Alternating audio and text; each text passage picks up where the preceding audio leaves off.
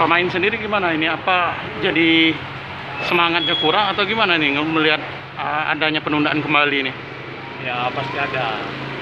Kita ada program pelatih sama pemain.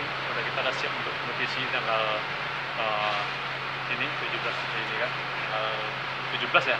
17 Oktober nih. Apalagi Liga 1 uh, Jadi kita ada ada adanya lah.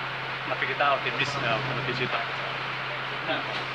Paling kita nganggapnya oh ini hanya penundaan aja gitu ya. Ya, Nah, mudah-mudahan itu bukan cepat inilah, cepat ada keputusan. ada keputusan. Kalaupun keputusannya di, di November ini kompetisi, alhamdulillah.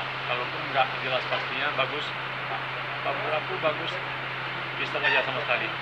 Jadi tahun depan di konsentrasi tahun depan kan. Hmm. Daripada kita nunggu, jadi kasihan juga. Ini kan tim kan main persiapannya ada berapa bulan mereka jadi. hmm.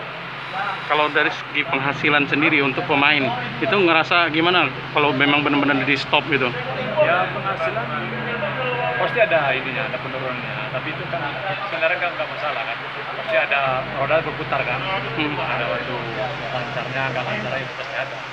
Tapi kan kita di itu kan bukan kita aja, banyak yang lain yang ini kan eh, ekonominya perputarannya kan masih